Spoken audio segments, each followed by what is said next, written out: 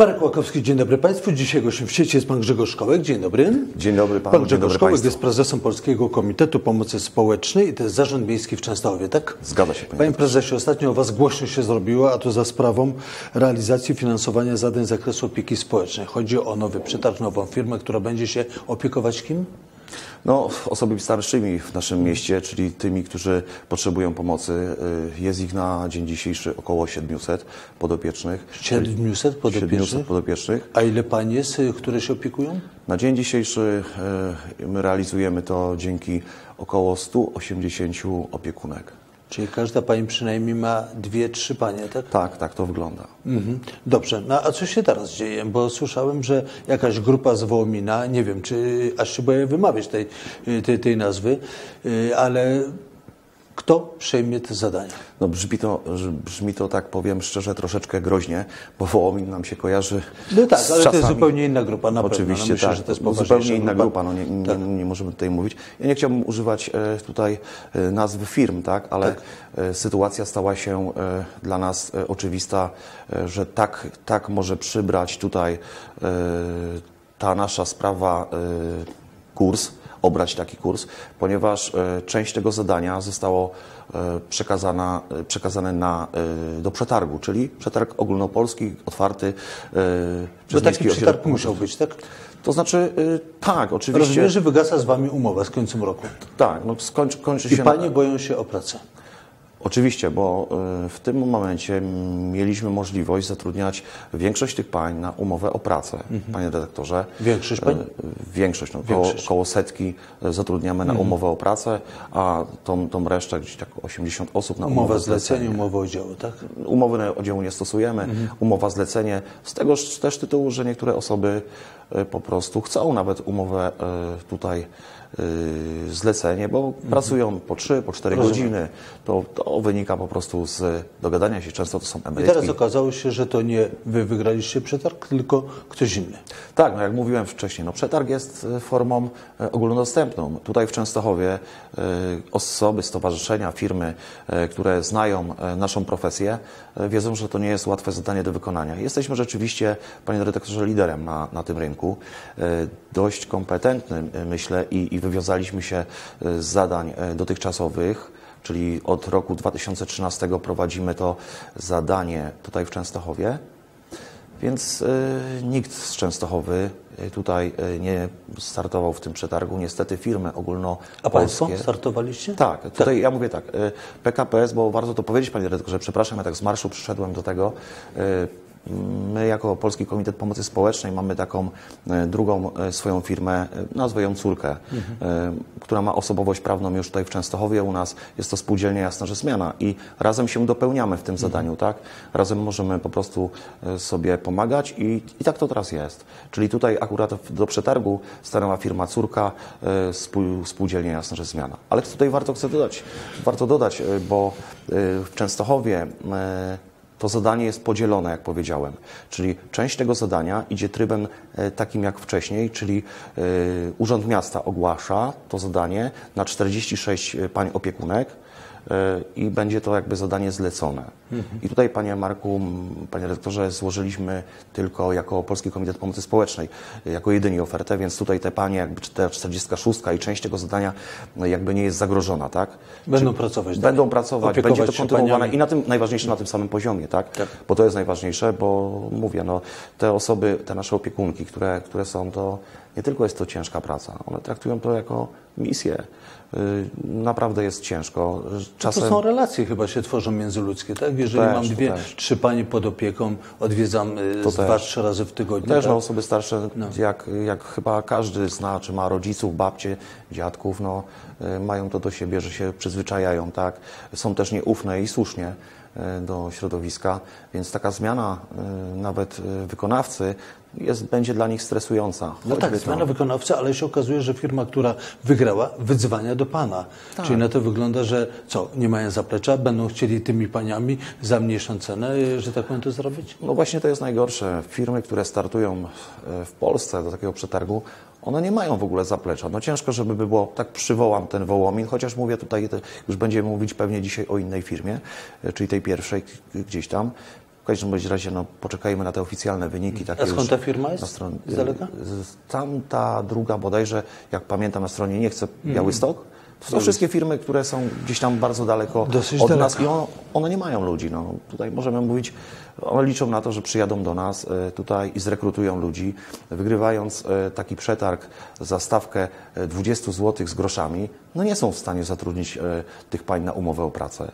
Mało tego, ba, powiem szczerze, żeby wyjść e, w ogóle na umowę zlecenie, czyli wykonać to zadanie, gdzie trzeba kupić rękawiczki, e, trzeba kupić bilety, e, trzeba opłacić koordynatorki tak zwane, które na biurze, w biurze będą po prostu logistycznie wysyłały do tych pań, koordynowały tą pracę, nie są w stanie. Ja mówię, ja poda, my podaliśmy tutaj jako spółdzielnia socjalna w przetargu minimalną stawkę po kosztach, ale y, jeszcze będziemy musieli, gdybyśmy to kontynuowali, dofinansować sobie to zadanie, e, żebyśmy spełnili i utrzymali naprawdę najlepsze panie, czyli Czy ktoś, panie prezesie, kto organizuje ten przetarg, to nie zdaje sobie sprawy, że Boże, co oni za cenę dali? Przecież to jest niemożliwe, żeby y, działać, utrzymywać się, jeszcze na tym zarobić, tak? No bo po to się y, bierze taką, takie zadanie, żeby trochę też zarobić. No tutaj wszystko w rękach w tym momencie pani dyrektor MOPS-u. Liczę na, na to, y, że pani dyrektor podejmie słuszne decyzje w tej sprawie.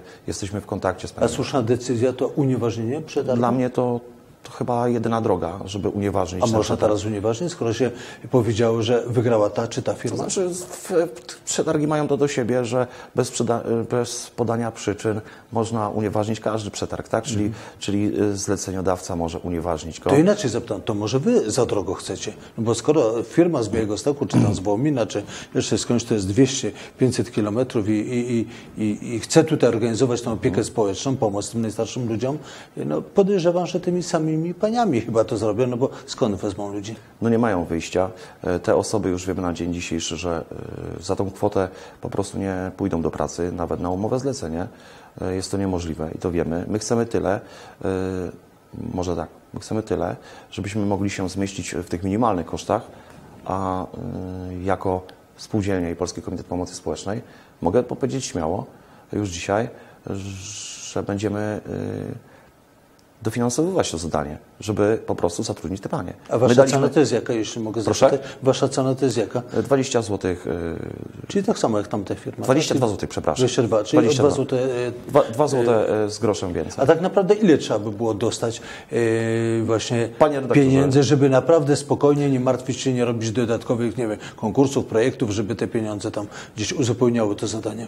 No, wiemy o tym, że od nowego roku e, minimalna pensja idzie w górę, tak? Czyli tutaj y, y, pewne podwyżki i, i są nieuniknione.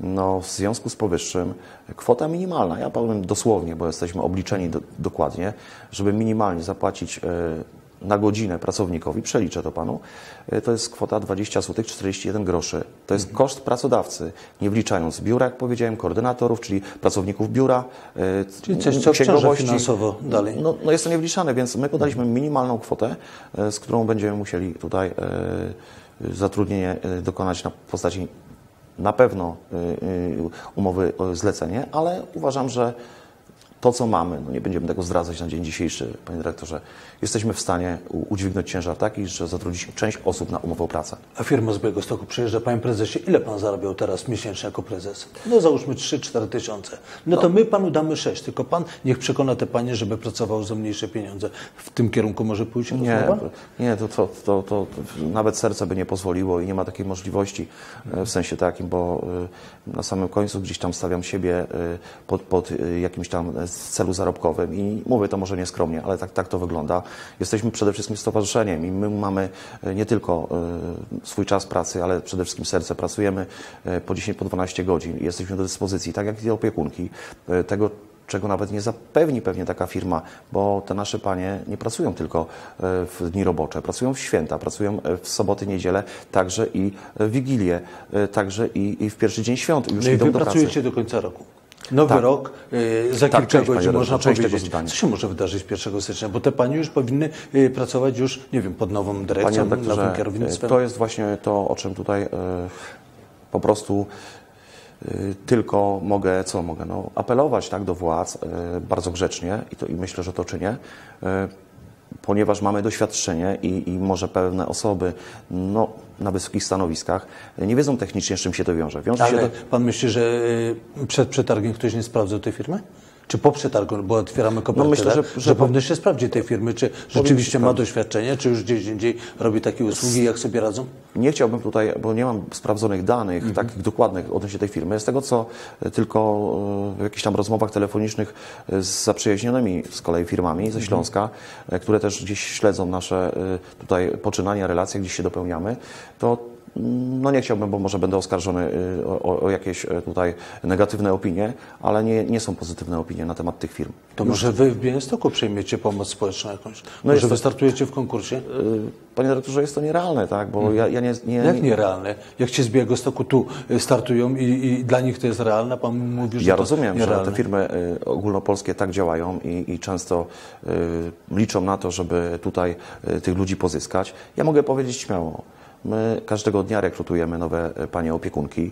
Trudno się rekrutuje? Bardzo trudno. Na pięć osób, które przychodzi do nas y, po praktykę, bo mamy, stosujemy taką praktykę, że żeby zanim zaczniemy rozmawiać y, o, o tym, jaką stawkę pani jedna czy druga dostanie, to wysyłamy na dzień wolontariatu, czy dzień, czy dwa, tak? Idą z doświadczoną panią opiekunką, no i tak na pięć, panie redaktorze, to jedna wraca. Cztery są niezainteresowane zbyt. Odpowiedzialna praca? Ciężka praca, niełatwa? Przede wszystkim. Przede Czasami no, nie ukrywajmy też ich w brudzie, tak? Ta praca, to, to, to różne są sytuacje. No i pan mówi najniższa krajowa, tak? Y, No, część osób pracuje na najniższej krajowej i nie ukrywam, a część minimalnie y, poza tą najniższą krajową. Także y, właściwie to, to już jesteśmy, te panie są przede wszystkim niedoceniane tak, za tą pracę i finansowo. I mam nadzieję, że wiele osób Mhm. chociaż potrafi uszanować ten trud tej pracy i być wdzięcznym, że y, rodzicami, dziadkami y, się te panie zajmują, bo są doskonałe. A Te zdarza się, że pan musi zastąpić którąś z pań, bo, bo, bo też chorują, tak? To jak znaczy, chorują, to y, co wtedy? powiem tak, panie doktorze, ja bardzo chętnie i, i jeździmy, mamy, mamy też osoby, które kontrolują na bieżąco, mamy tyle czasem mm, spraw do załatwienia, ale jesteśmy w terenie i ja osobiście jestem, bo pewne rzeczy, które gdzieś tam y, mogą wyniknąć y, z obu stron, prawda? Chociaż chcę się pochwalić, bo na 700 podopiecznych, panie dyrektorze, wpłynęły tylko trzy skargi e, w roku, z czego dwie były niezasadne. Czyli bardzo Czy, mało. czyli bardzo mało. Bardzo mało. Czyli bardzo mało. Czyli widać jednak to doświadczenie tych naszych opiekunek. No powiem tak, no, te panie, które dzisiaj są zatrudnione na umowę o pracę, jest ich ponad 40, e, no nie ma miejsca dla tych pań, e, jeśli ktoś wygrywa za taką stawkę. One są do zwolnienia. Są rozgoryczone. A może być cichy układ między prezesem a paniami? Słuchajcie, pani nie bierzcie, przecież oni nie mają szans utworzyć. Za parę godzin muszą przejąć, zacząć działać, a, a tu wszystko Panie redaktorze, my jesteśmy tego świadomi. Tylko żeby do tragedii nie doszło. Żeby nie doszło do tragedii, bo y, 1 stycznia, jak mówię, y, do, do części tylko podopiecznych się trafia. No, jeszcze mamy święta, czyli rodziny pewnie podopiecznych też sobie y, gdzieś tam y, będą z tymi najbliższymi, ale już 3, 4 y, stycznia, 5, jeśli panie nie, nie, nie będą u podopiecznych, to, to może dojść do tragedii. To jest po prostu y, ryzyko mm, nawet y, w kwestii życia. Czym Państwo jeszcze Polski Komitet w ogóle Pomocy Społecznej w Częstochowie się zajmuje? Bo tylko chyba nie, nie tylko ta opieka tutaj. No mamy tak? też drugi problem. Tutaj rodzice, rodzice Radosny stanęli dom? murem radosnego domu, naszej świetlicy środowiskowej. I chcę tutaj przeprosić od razu rodziców. No, wiemy, y, z czym się będziemy musieli zmierzyć w przyszłym roku, czyli z podwyżkami, z nowymi, y, że tak powiem, cenami. Więc troszeczkę y, ogłosiliśmy właściwie, że od nowego roku mo, może nie istnieć świetlica y, środowiskowa Radosny Dom. Niemniej jednak chcę zaznaczyć, bo to jest bardzo, bardzo ważne, że od dwóch lat, czyli odkąd, odkąd nowy zarząd tutaj prowadzi tą świetlicę, e, sami rodzice to mówią, poziom w tej świetlicy no, podniósł się do maksimum. Jak to usłyszałem, zacytuję, takiej kadry to jeszcze nigdy świetlica środowiskowa radosna nam nie miała. Niemniej jednak, panie redaktorze, chcę się wytłumaczyć, bo troszeczkę y, straciła na wartości y, y, świetlica jako świetlica środowiskowa. W pewnym sensie zastępujemy szkołę, ponieważ te dzieciaki są w szkole i to zaczęło być świetlicą szkolną. A to jest wygoda rodziców, czy potrzeba rodziców, że te dzieci popołudniami są właśnie w tej świetlicy? Potrzeba jest ogromna. Sam jestem ojcem, sam, sam mam dwójkę dzieci wiem, jak e, dzisiaj e, ch- chciałbym, żeby moje dzieci spędzały tam czas, e, gdzie po prostu będą prowadzone zajęcia, prawda? Będzie pełen wachlarz e, e, dla dzieciaków, czyli odrabianie lekcji, e, kolejne jakieś kursy, szkolenia dla dzieciaków, lekcje e, z innych dziedzin, e, też żeby mogły odpocząć poprzez uczenie się. No dobrze, I, my to zapewniamy, tak? Dlatego takie mamy obłożenie. Tak To duże- będzie ta świetlica, czy nie będzie tej świetlicy? Powiem Pan tak. mówi, że coś trzeba będzie podnieść, jakieś ceny i... Trze- Trzeba będzie podnieść. Dzisiaj rodzice tego nie finansują. Finansuje to Polski Komitet Pomocy Społecznej i powiem to od razu. To jest współfinansowane z pieniążków Urzędu Miasta. A Urząd Miasta teraz ma mniej pieniędzy. Tak? Urząd Miast- Miasta ma teraz mniej pi- pieniążków. Nie wiemy, czy uzyskamy to dofinansowanie z Urzędu Miasta, mimo tego, że złożyliśmy, jak e, większość tutaj świetlic, e, stosowne dokumenty o dofinansowanie. Ale powiem tak, 2018 rok, Panie Marku, e, dofinansowaliśmy tą świetlicę my jako PKPS e, w 68 tysiącach rocznie. E, 2019 zamkniemy się w 70 tysiącach, gdzie musimy tutaj dofinansować tą świetlicę, a wiemy, że na dzień dzisiejszy, i to się ma jedno e, też z drugim, e, że jeśli będziemy mieli ograniczone, i powiem to głośno, żeby też e, opinia publiczna miała, miała taki ogląd, e, jeśli stracimy zadanie e, to e, usługi opiekuńcze, gdzie w tym budynku też częściowo mieściły się biura e, pań opiekunek, czyli pan, pań koordynatorek, tak? No więc pół budynku będziemy musieli tutaj dofinansować e, z tego zdania radosny dom. To też jest kłopot, tak? Czyli jeszcze się rok nie zaczął nowy, a już, a już widzicie te kłopoty. Ale panie Marku, jestem optymistą, bo gdybym nie był optymistą, to chyba bym nie był na tym stanowisku. Jak pan wcześniej użył Ostatnio, jak byłem u Pana słów, że trzeba być troszeczkę cwaniakiem. Ja to w, w, w złym e, tutaj wymiarze tego słowa e, nie chciałbym w tą stronę iść, bo mamy święta i w ogóle, ale tak, e, mamy plany już. Cały zarząd ściśle tutaj ze mną współpracujący mm, podjęliśmy działania bardzo szybkie. Do 30 stycznia będziemy się, jest czas na złożenie do, o dotację do Urzędu Marszałkowskiego. To są duże pieniądze. E, jeśli tutaj nie uzyskamy nic z dofinansowania z Urzędu Miasta, co by było dobre, y, bo potraktowalibyśmy te środki jako wkład własny na przykład, tak, żeby tam uzyskać większe, y, to, to było genialne. Trzy miesiące y, przerwy, no bo dopiero rozstrzygnięcie w Urzędzie Marszałkowskim takiej dużej dotacji to będzie koło czerwca. No niestety w tym czasie mm, powinniśmy zrobić remont. W tym momencie powinniśmy doprowadzić tą, tą świetlicę technicznie, no bo ona tak naprawdę... Za nie- co? Za co? No tutaj liczymy na sponsorów i tutaj, i tutaj e, przy samym, e, przy samym tutaj naszym remoncie i chcę zareklamować, mogę chyba, że e, trwa o, kiermasz świąteczny, który Mhm. organizujemy na ulicy Nowowiejskiego 15. To są nowe, nieużywane e, rzeczy. E, Bielizna, e, spodnie. Można przyjść, kupić, Można zasilić. przyjść za naprawdę bardzo niskie ceny. Póki co pan prezes będzie musiał z kwiatami pójść trochę po urzędach i, i, i bardziej Tak. się ukłonić nisko, Tak może, może coś się uda. Tak. Musimy kończyć. Pan Grzegorz Kołek, prezes Polskiego Komitetu Pomocy Społecznej w Częstochowie Bugoszyń w sieci. Dziękuję bardzo. Dziękuję niezmiernie miło.